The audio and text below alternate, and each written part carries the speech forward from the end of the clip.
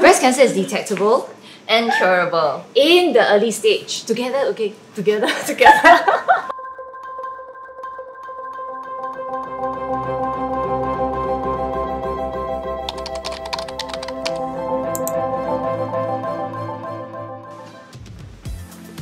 Hi, Ching Wan. Hi Esther. How are you? Good. What are you doing on a Saturday morning? Well, we're here. We're both trying to debunk some breast myths. Yeah, I think that's necessary because the internet is rampant with um, all these sometimes truths, sometimes half truths, and it's really difficult to tell the difference. Correct. Let's begin by introducing ourselves. Um, I'm Dr. Esther Chuwa. I'm a breast surgeon uh, with a specialty interest in oncoplastic uh, breast surgery, and this is I'm Dr. Chan Ching Wan and we just work together. yes, happily. Right. So here we go.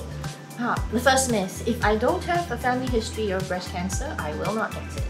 Yeah, this one is a very common myth and most people feel reassured because it's not in the family. And while, yes, that does give you a normal risk, it doesn't mean that you have no risk. And unfortunately, only 10% of patients have a family history. So the vast majority, 90%, do not have a family member with breast cancer. And so the important point is come for regular checks. Now it's Okay. your turn. Okay, so breast cancer always causes a lump that you can feel in your breast.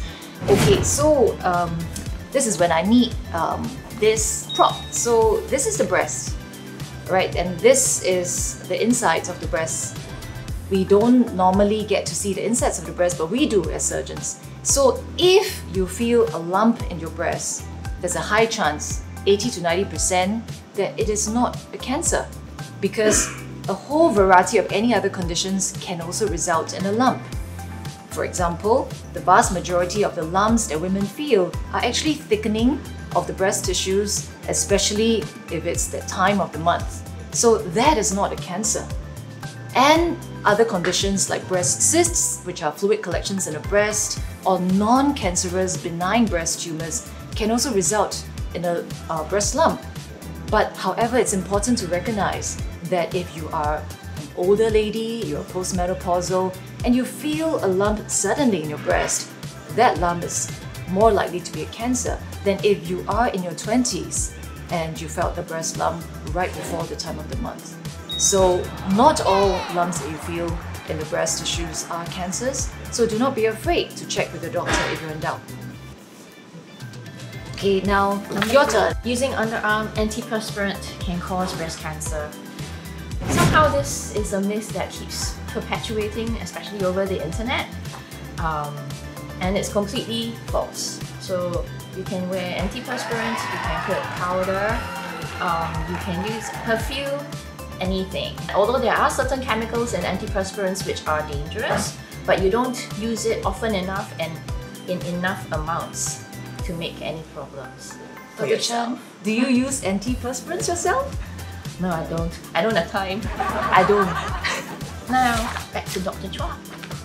Okay, smaller breasts means having smaller or lesser risk of getting breast cancer. Now, this is interesting, all right, especially in our sunny island of Singapore, where I think the majority of our women have fairly small breasts. All right, this is when I like to have some sort of a geographical support. Okay, so this is a world map taken from the World Health Organization, um, charting what are the relative incidence uh, rates of breast cancer all over the world. All right, highlighting the areas of the highest incidence of breast cancers, for example, in North America, Australia, and certain parts of Sweden. All right, so they have the highest incidence rates. All right, and then let's take a look at the world map charting the average breast size all over the world. So if you zoom in on North America, Australia, as well as Sweden, for example, they don't exactly have the largest breast size.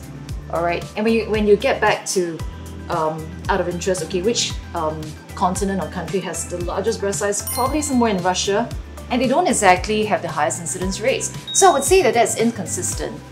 And but where we're concerned in Singapore and Southeast Asia, you would find that um, we have an average um, incidents. We have small breasts. All right, the message out there is that if you have small breasts, it doesn't mean that you have a lower chance of getting breast cancer. Uh, you can still get breast cancer, so get your screening done. The internet is full of hearsays and myths. Um, some are truths, some are not really truths. So it's really up to us uh, to be uh, sensible.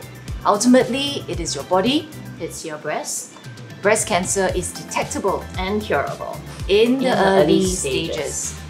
So be aware of your body, note any new changes, and do regular screens.